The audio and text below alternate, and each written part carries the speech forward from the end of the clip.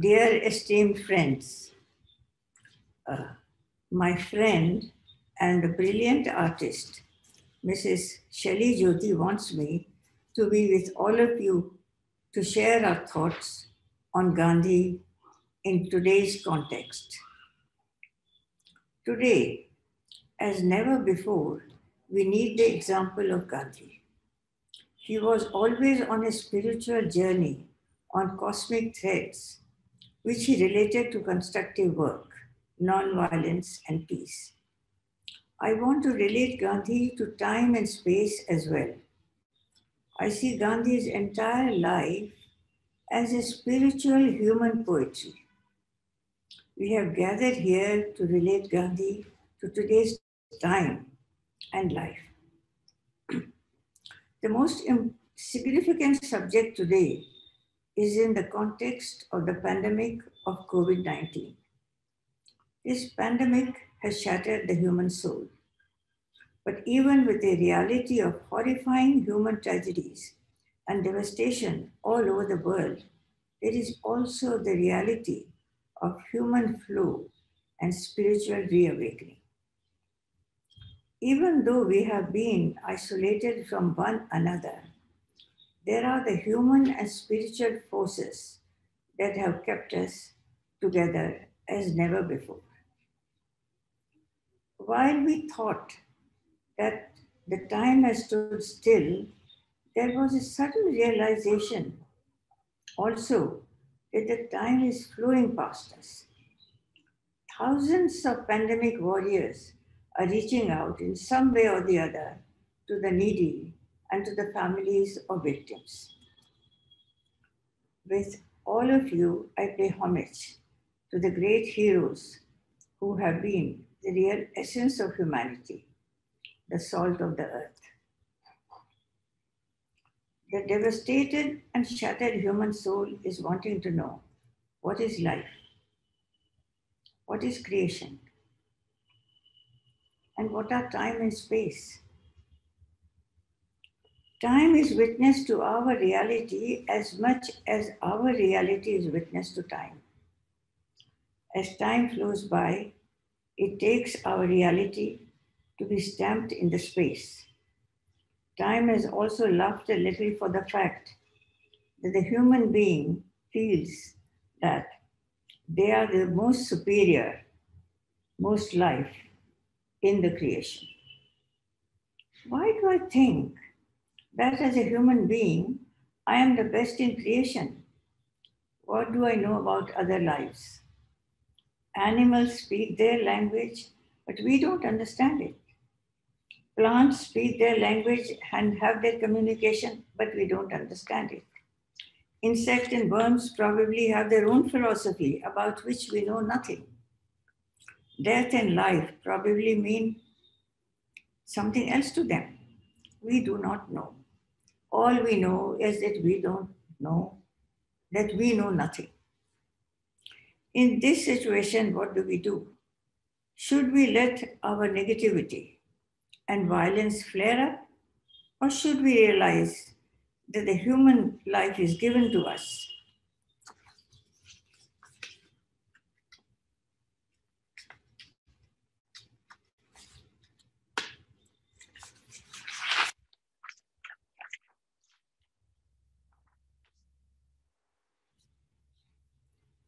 that the human life is given to us to respect every other life.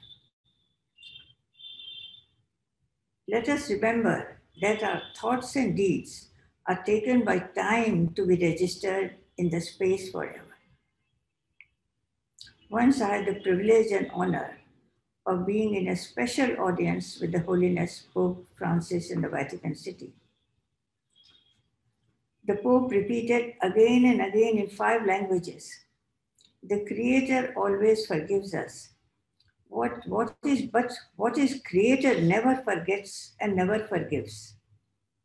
If we hurt a tree, an animal, a life, or nature, they take the, they take the revenge.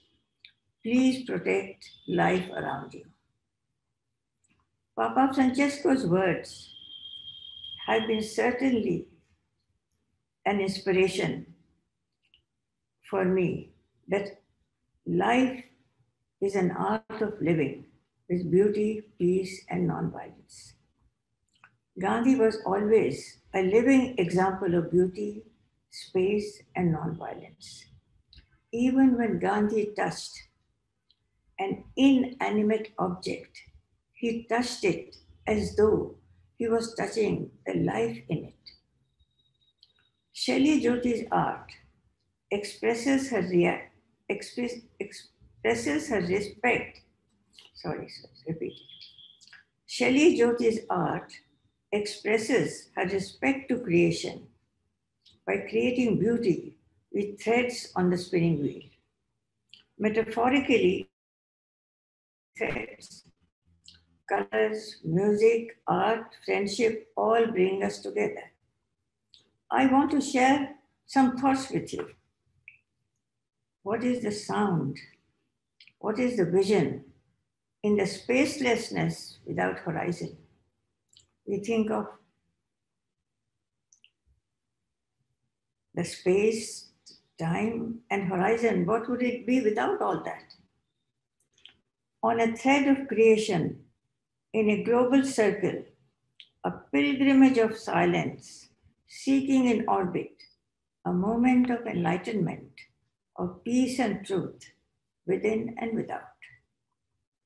Right now, we can only hug the moment we do not understand the time and space or the timelessness and spacelessness. But we know we can hug the moment. Like all of you, I wish that I always remain with the realization that this life is precious and I should respect every other life.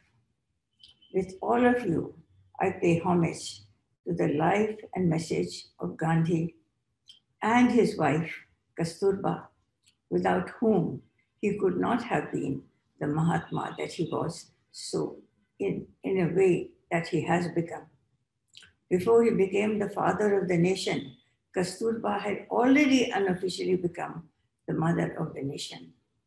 And I pay homage to the greatest power in creation as much as we know is the mother power. And if we can give a bit of that to the next human being, there would be no violence, a very little chance of violence on earth, on this planet. Let us be together in respecting the time and let us hug the moment together. Thank you. Very nice. Beautiful. Poem Hug the Moment. हाँ, बिल्कुल बिल्कुल Okay.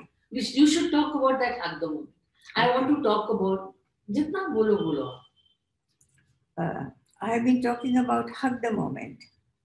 Here is the endless emptiness of monotony.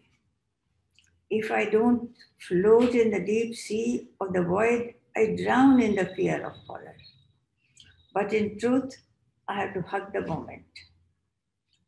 I am in the moment containing the time and the space. Engulfed by time and space, I am in the moment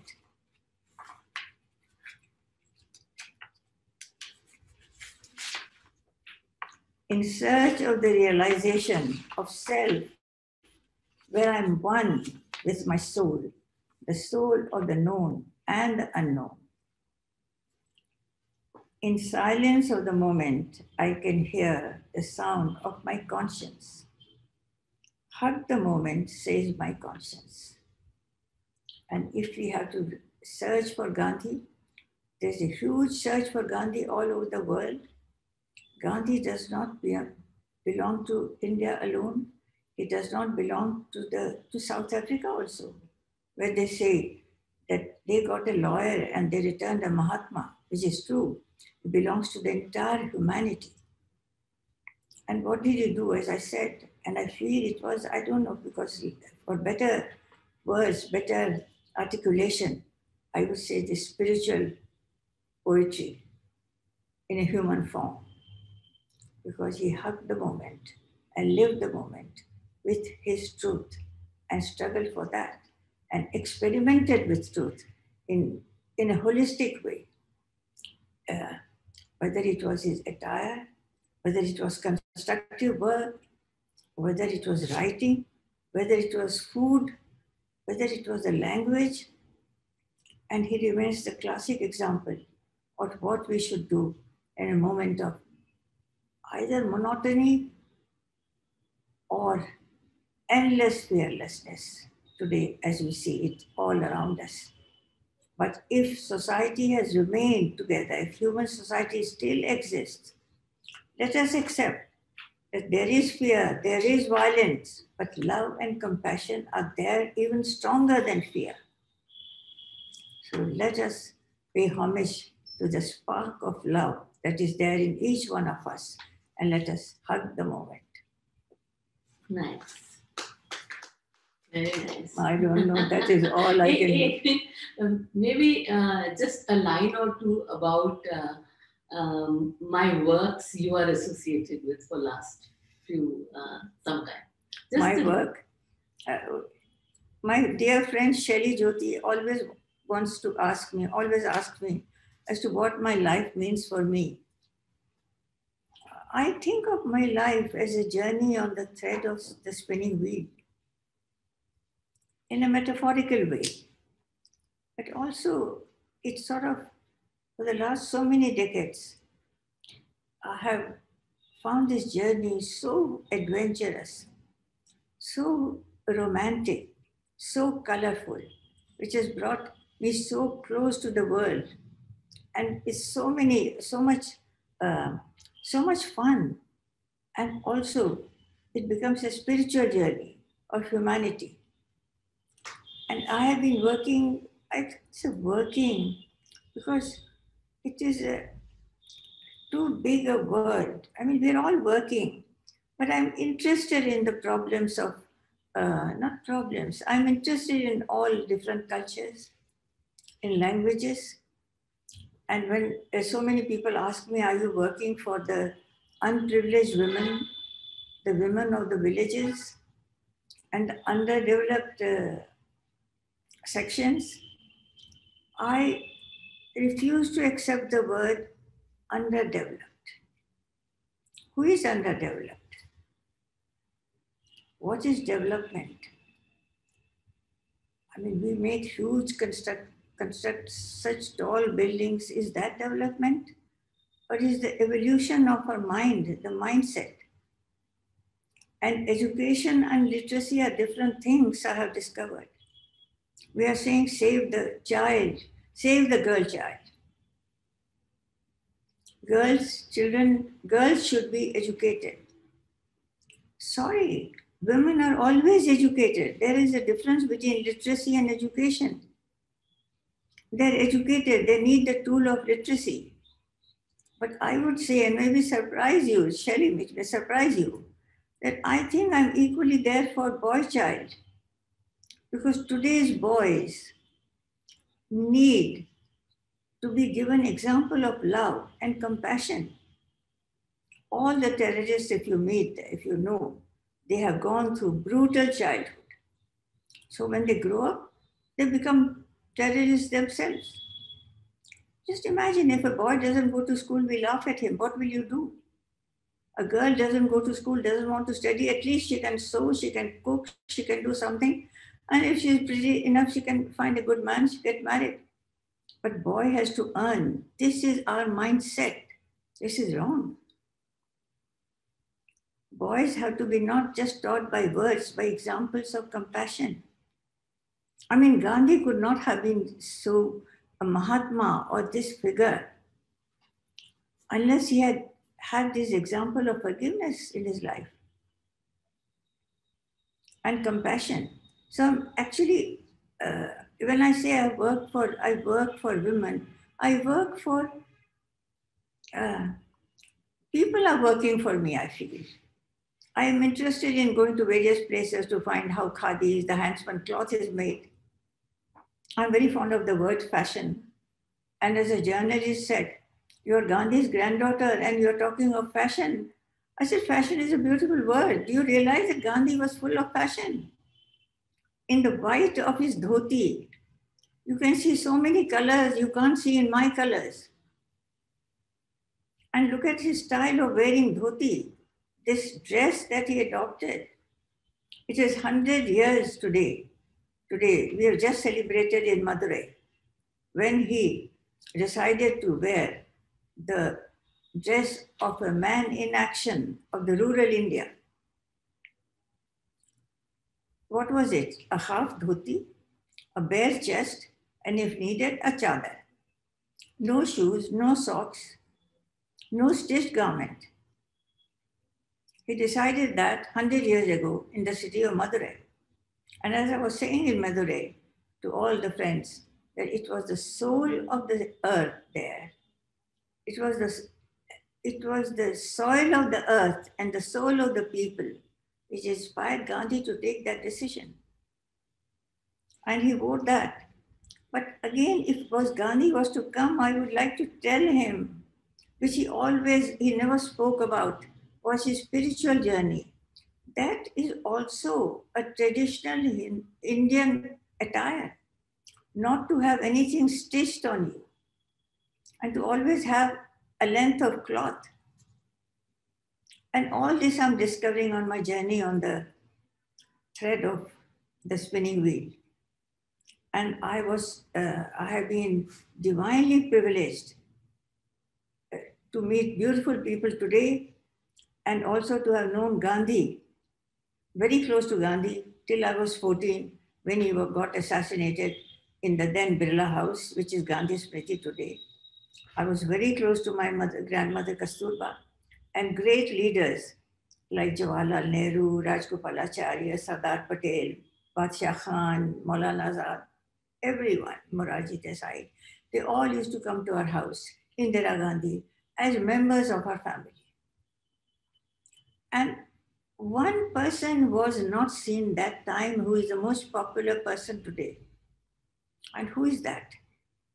That is the unknown person. That is the security guard. Because there was no fear. Today, unless there is a guard behind me, a security guard, I am not important. And he is the most important person. And what does he mean, the security guard? That he represents my fear. If I remain without fear, his job is gone. Even when we are having a prayer meeting on Bapuji's day, 2nd October, 30th January, or any other day, we are full surrounded by security guards. And we have to wait because naturally the lives of VIPs are very important. Every life is important, everyone is a VIP. But the, then I look at the sky and the only life I see free is the birds that fly over them, over us. I mean, we are living in fear, and that unnamed security guard is a symbol of my fear. And here I will quote just one instance of uh, Kasturba Gandhi. Uh, they were in the prison of Aga Khan Palace. Bapuji, Kasturba, and all their colleagues like Mahadev Desai, Sushila Nair, uh, my very distant cousin Manu Behan, who was with him till the last, And I went there to Aga Khan Palace. That time travel was not online, traveling and going in the morning, returning by night. It was hours, days before we could book a train, get to the station, go to the city, stay in a sarai with a kitchen so that you can cook, take a rickshaw or a tonga, and go to the jail warden and wait and we waited there when my father got down and asked the jail warden permission to go and visit in our palace in Pune to visit uh, Gandhi, my, my grandmother, grandfather and grandmother in the jail. And he, after two hours, three hours, while we were waiting in the sun, my father would come smiling because he would get the permission. Then we would go there and we'd see Ba and Bapuji. It happened a few times, I had the experience. But once it was very memorable. I went there and Ba told me she was ailing, she was on the bed. She said, Come here, sit next to me. I sat next to her. And she called Manuben uh, and Sushila I. Get the sari. I was very young then. When Bapuji went, I was nearly 14. When Ba went, I was much younger. I was less than 11. But I remember Ba said, I have kept a sari for this granddaughter. She gave the first sari to all her granddaughters because she didn't have her own daughter. And Manuben and Sushila Nair got the sari for me, Khadi sari. Beautiful Khadi sari is called a Doria of Bihar with a beautiful stitched border. I was so thrilled. I just took it like that and I wanted to run away from the prison. Then, why did I want to run away? Because my grandfather was there, silently sitting on the floor, spinning and smiling. I thought my grandfather would say, Don't give to Tara, she has everything, give it to a needy person. And then I looked at Bapuji and he said, In his eyes, there was a message. In his smile, there was a message. Tara is needy of her grandmother's love. Her grandmother is, is in the need of giving something to her granddaughter. This stuck in my mind. We, can, we are all needy of love. And I got that message from Bapuji when he realized when he spoke of the needy people, he spoke of everyone's need. The last man in the last line of the society, as well as people, privileged people like me. We all need love. And he realized it with everyone. He was a great psychologist. But the other important thing I learned was from my grandmother, Kasturba. I was so happy. I told my grandmother, Ba, I want to play in that huge room of the Aga Khan Palace. I want to go there and play. There is no guard. There is no guard there, you know, because there were guards. At that time, there were guards, I mean, because they were uh, protecting Gandhi from visitors. So, or who knows, they thought Gandhi would run away, which Gandhi would not have done. But I said, I want to go and play there. Ba said, Beta, guard or no guard, you must listen to the orders. When it is not to be done, not to be done. Why do you need a guard? And that is the essence of Swaraj, Swavalamban. Self control, answerability of the citizen. Gandhi did not have a Gandhi before him. His fight was a citizen's fight, not a fight from a political position or an administrative position or any other political power. It was a citizen's right. It was a citizen's right. So I think in democracy like India, and the whole world is democracy, let the citizens be conscious of their role. We don't have to be responsible for the government. I mean, they can come, they're all there. We don't know what the politicians have to go through. But we, I know, as you know, that what it means to be citizens and am I doing my duty at the end of the day? I can write a whole, on the whole wall, maybe how many times I failed as a citizen. I think this is the message of Swaraj, Swavalamban, and Swadeshi, all from my grandmother, in few words, who was considered illiterate, and I would say, but not uneducated, educated. Lovely. Beautiful. क्या तुम तीन घंटे का मेरा भाषण लगाओगी वहाँ पे लगाऊँगी सही I will definitely. तुम्हें ठीक लगा बेटा Very nice. I, I have a question and I'm going to record this Yes. question. What does uh, art mean and how can we connect art and Gandhi's philosophies together? Because a way of life, you speak about way of life is also art, right? So art is not only how, how can art inspire, how Gandhi's thoughts and inspire? art is giving dignity to life but realizing it with uh, as much as possible with respect to life Hmm. as i said gandhi touched even when he touched a thing it was as though he was touching the soul in it i may be a carpenter i may be a mother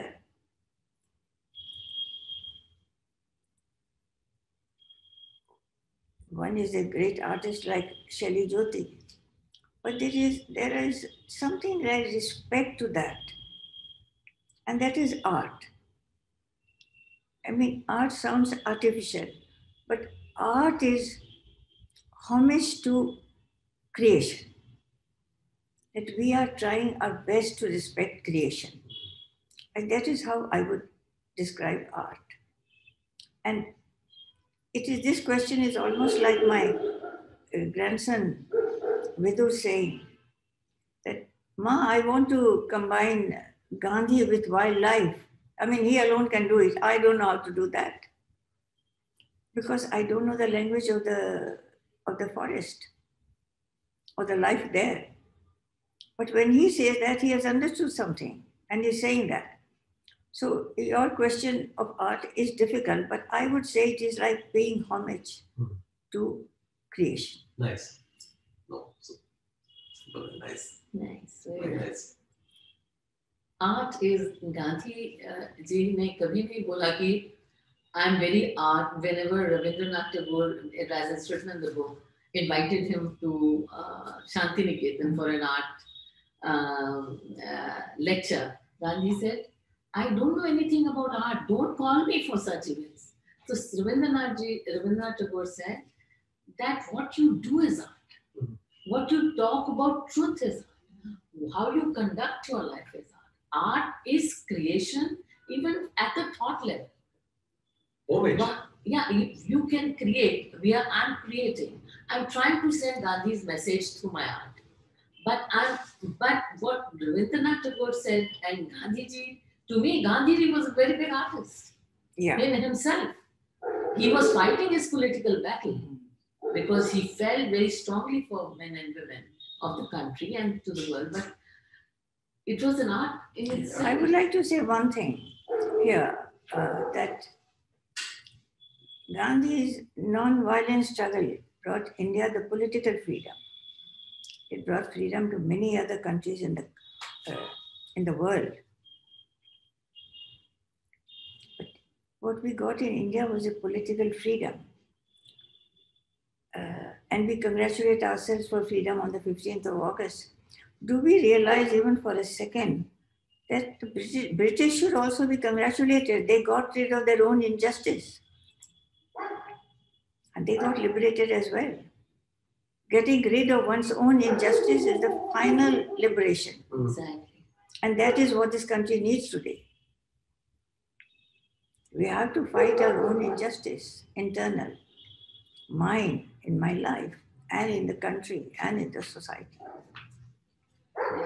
Yeah, Lovely. lovely Perfect. Yeah. beautiful lovely, lovely. What a lovely afternoon.